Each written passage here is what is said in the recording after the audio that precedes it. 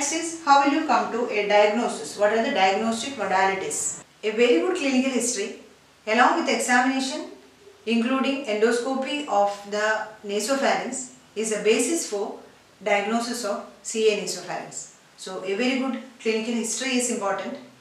Uh, history taking was already dealt with uh, uh, in an earlier class. Please see that link is given below. And uh, next comes is a uh, general examination.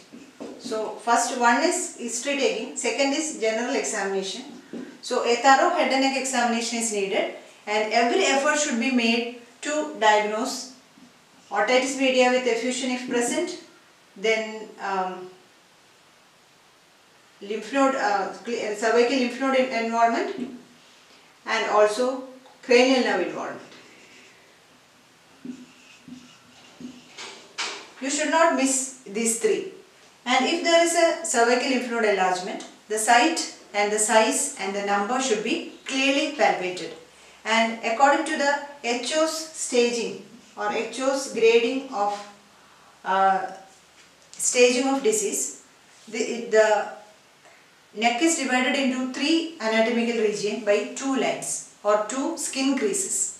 One passing through the thyroid notch and another passing through the sternoclavicular joint. So lower the neck node, in, uh, lower the site of neck node, more advanced will be the disease and greater will be the grading. So these are important in general examination.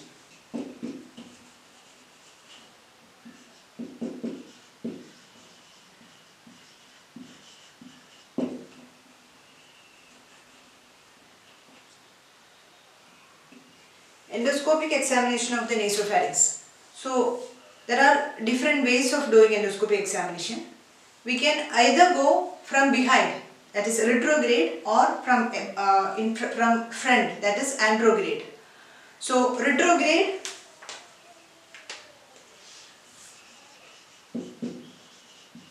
examination of nasopharynx and also anterograde grade examination. So retrograde as I already told you from below upwards. So where will be the endoscope?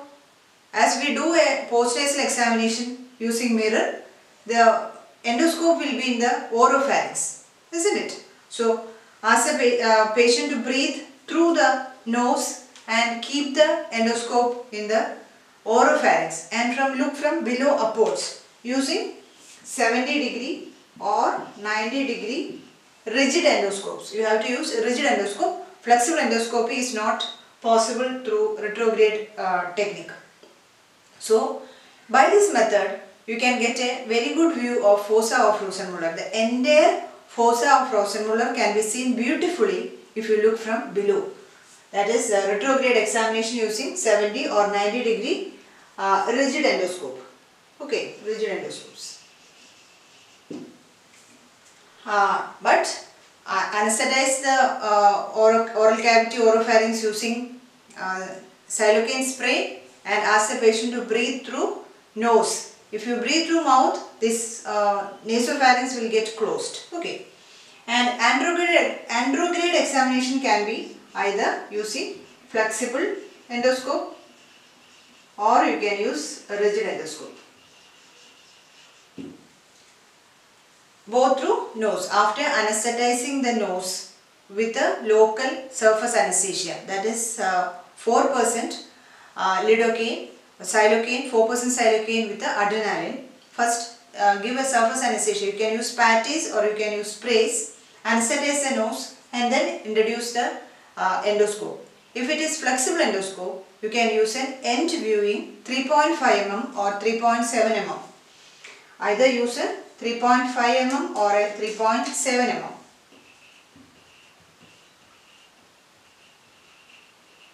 End viewing uh, flexible endoscopes or you can also use uh, 0 or 30 degree Hopkins rod telescopes uh, which are which is 4 mm better go with a 4 mm rigid endoscope 30 or 0 both can be used but for photoscopic uh, uh, documentation or video documentation these uh, rigid telescopes are better than flexible ones and also you can take biopsy while doing a rigid uh, andrograde endoscopy of the nasopharynx.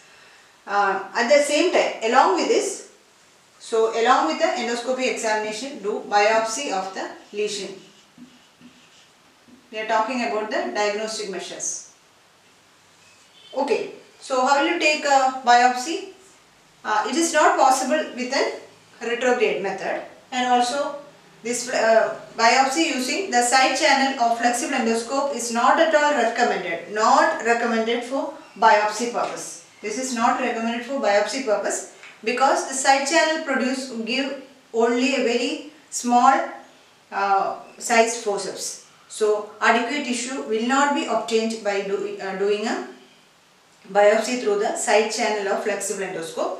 So it is always better to go with a, rigid endoscopy and biopsy. So you can put the endoscope through one nostril and the um, forceps can be uh, introduced through the other nostril. At the same time through one nostril you can introduce the endoscope through the other you can introduce the forceps. The forceps is there it is called Takahashi forceps. Again invented by Chinese. Takahashi forceps it has got a, a cutting edge with a very wide uh, very wide cup so very much uh, wide with the cutting edges for uh, forceps. So adequate tissue, uh, you can obtain adequate tissue. Usually there won't be much bleeding, so there won't be any need of packing. Okay, so with that you take biopsy from the mass.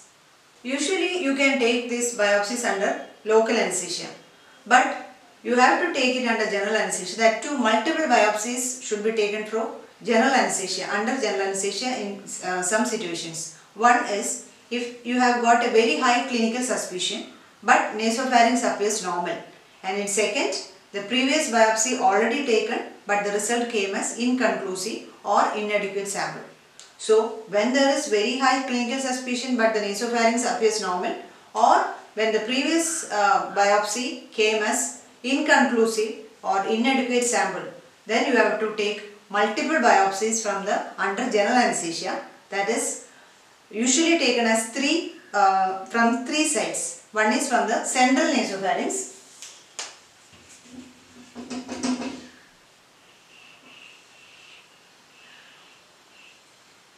That is one is from the central nasopharynx and another one from both fossa of Rosenmuller.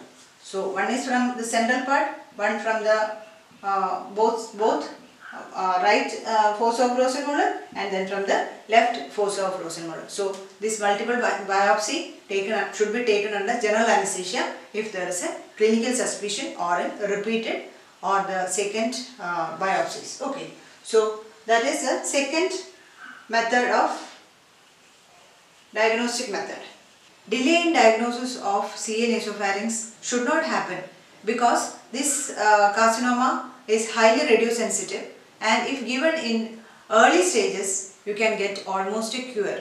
So if you are getting repeated negative biopsies in case of even if there is a high level of clinical suspicion or in case of submucosal variety, I already told you that three types, histological type.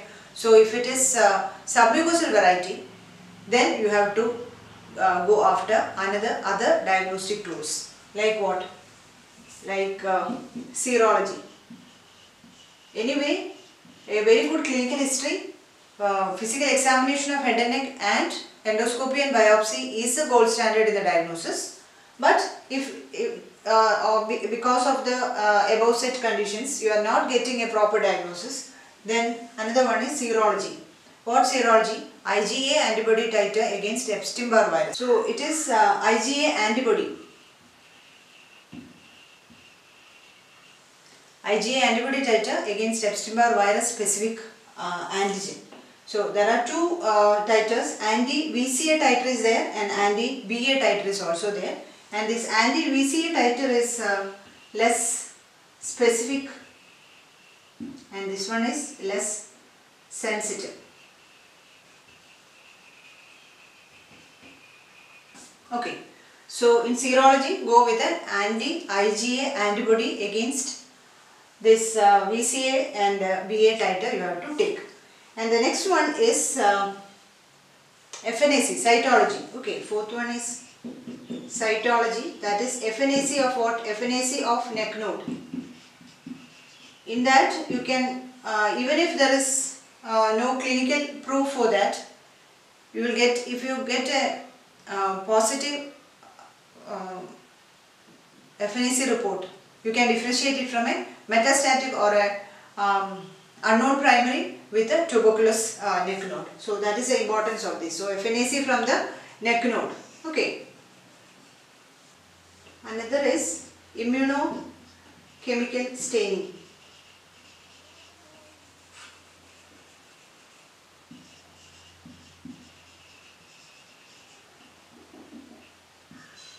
By this you can stain this EBV encoded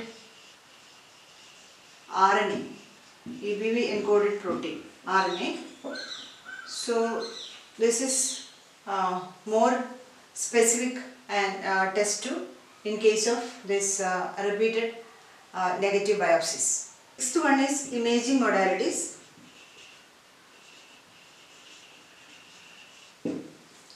Imaging modality, there are four indications for imaging mainly. One is to find out the site of biopsy in case of a submucosal tumor. Secondly, for staging of disease. And third, for planning of radiotherapy as a treatment, RT planning. And fourth one is post-treatment monitoring of the disease. This, these are the four definite indications for either be a CT scan or an MRI or ultrasound neck.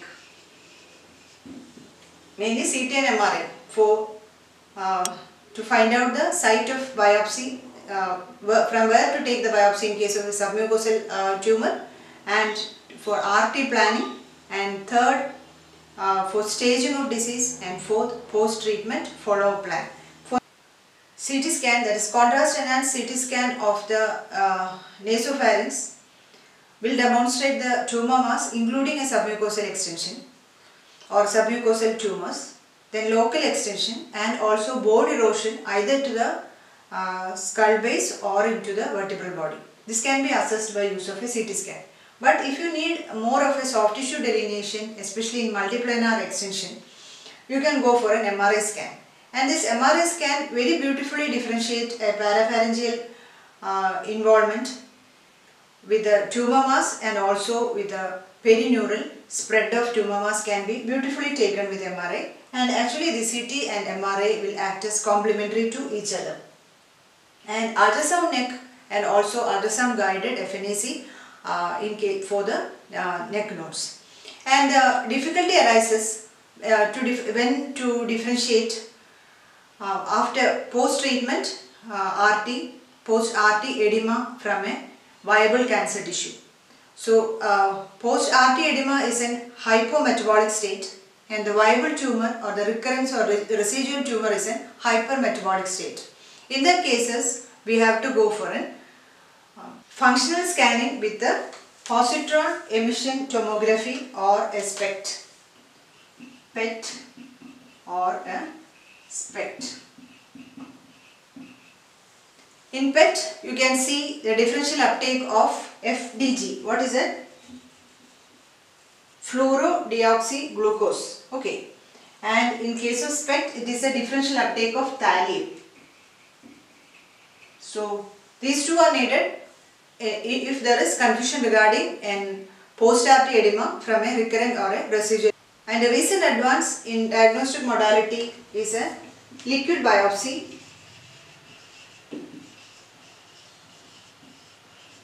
The liquid biopsy can be asked in your recent advance question for postgraduate student residents. Liquid biopsy uh, is also used in case of uh, CA nasopharynx diagnosis using.